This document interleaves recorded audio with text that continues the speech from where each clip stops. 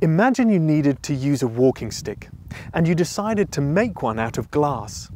This would obviously be a really bad choice of material because glass is fragile. If you bang your glass walking stick against a rock, it's likely to shatter. A better material to use would be wood, as wood is much more robust than glass. It might wear down over time and slowly get weaker, but it is robust enough to withstand many more bangs and scrapes than the fragile glass. But better than both of these is our living bones in our legs. We need to use our bones to put stresses and strains on them in order for them to grow stronger. Without these stresses, our bones lose their strength and density, which is a real problem faced by astronauts in zero gravity. Glass is fragile, wood robust, our living bones are anti-fragile. This video is going to be a brief review and summary of Nassim Nicholas Taleb's fascinating book in which he coined the term anti-fragile. Taleb's book is a wide-ranging journey through ancient myths and personal anecdotes and historical events, all with the theme of recasting these stories as teaching us something about the property of being anti-fragile. As Taleb notes at the start of the book, carving up the world in a particular way and then naming parts of it can be a powerful way to aid our understanding and ways of talking about the world. And it is with this goal in mind that Taleb motivates the introduction of this new term, anti-fragile. And he argues that without this word, we seem to have a blind spot that makes us assume that the only two options are for things to either be fragile or robust. Something is fragile if it is easily damaged by disturbances of one kind or another. Something is robust if it can withstand a certain level of disturbances without being damaged. And then, rather than the traditional view that takes fragile and robust as opposites, Taleb argues that they are the first two parts of a triad, where the missing part is to say that something is anti-fragile if it actually gets stronger or benefits from disturbances. So anti-fragile is the true opposite of fragile, and although it may at first seem like an odd concept, once it's named and explained, you can see that there are many well-known examples of things that are anti-fragile. And they're some of the most interesting things we know about. The most obvious example is life itself. While each individual animal of a species dies at some point, the tough competition of survival actually makes each species as a whole stronger through the process of evolution. The individual animal may be fragile, but the species as a whole is anti-fragile. But an easy mistake would be to think that the term anti-fragile is just a rebadging of the ideas of evolution. Anti-fragility is a property that some kinds of things have, and evolution is one mechanism that can achieve this property.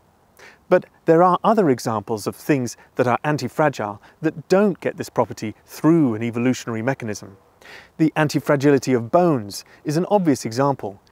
Another example that Taleb gives is about restaurants. Even though each individual restaurant in a city is fragile to going bust, the collective of restaurants is anti-fragile. And he means this in the following sense. Imagine that the local government in one city decided to support all of the local restaurants so that none of them would go bust then there'd be no existential pressure to keep the restaurateurs on their best form, competing hard to win over the custom of those dining out in the city. It's likely that the quality of food in that city would therefore suffer. In contrast, if another city allows the restaurants offering a poor experience to fail, allows them to be fragile, then not only does this keep the pressure on the restaurants to offer great cuisine, but it also will allow space for new entrants to come along, taking the place of the failed restaurants. This second city is therefore more likely to have a diverse set of high quality restaurants that are innovating in the cuisine that they offer.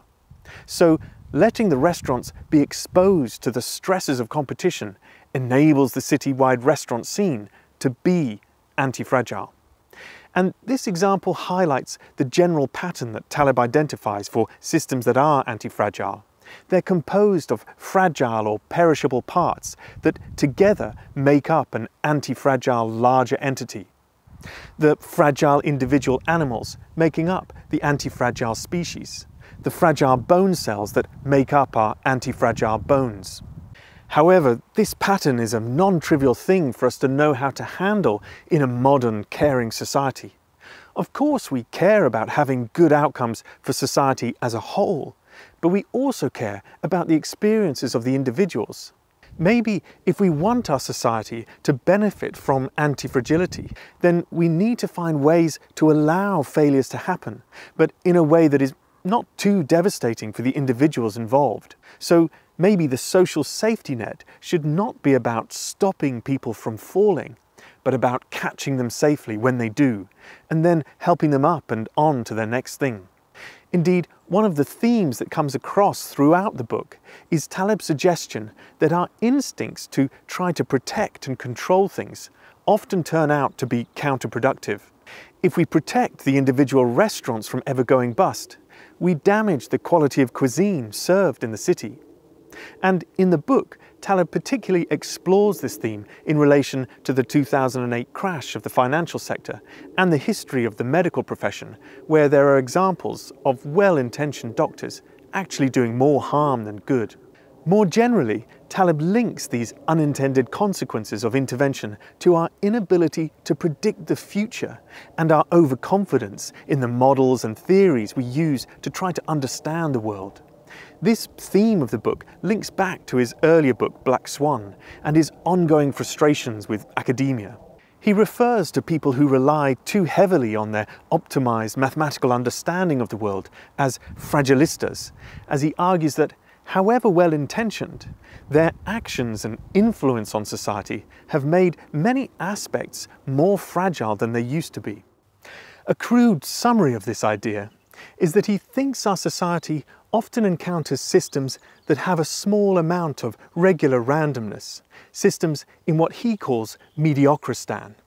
And by controlling them tightly to remove the randomness, we actually convert them into systems in extremistan, where the process may be much smoother for most of the time, but then occasionally it has a huge black swan event that is, in the end, much more damaging than would have been the case if we just learned to live with the original level of randomness that the system started with. In essence, he thinks that by trying to make our systems more robust, we actually just change the profile of the way in which they're fragile. His suggestion is that we should instead aim to make our systems anti-fragile. But at times, it feels as if there's a deep unresolved tension in Taleb's thinking. He rails against modernists who champion theories and models, and yet he himself is deeply mathematical in his thinking. I'm not sure if Taleb has somewhere articulated in detail a kind of synthesis position, as would seem to be implied by this tension, but I haven't yet found it. Rather, Taleb sometimes comes across as a kind of neo-modernist who just thinks that the others get the maths wrong. And yet, much of what he talks about has at least echoes of the kinds of concerns raised by postmodernists like Foucault, albeit through a very different style of analysis. So Taleb's work seems to raise many questions that aren't then fully addressed. But I'd be curious to hear in the comments if anyone knows of a text where Taleb does try to forge some kind of synthesis position, as this is a key interest of mine. Indeed, my thinking around portfolism is precisely an attempt to clearly articulate just such a synthesis. And in another video, I will explore the ways that portfolism suggests that we can use the notion of antifragility in an attempt to improve the health and quality of our public discussions.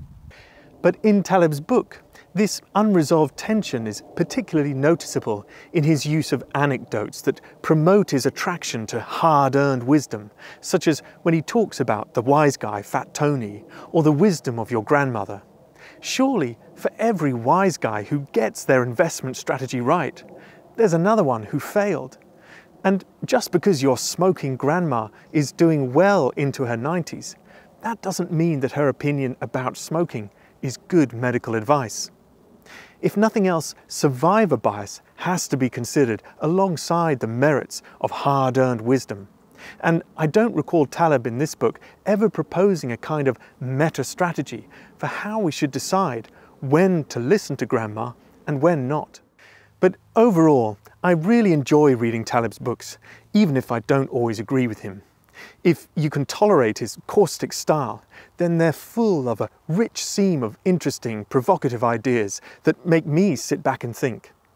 And the idea of anti-fragility is a really powerful and useful one that I often use now. So Anti-Fragile is well worth a read.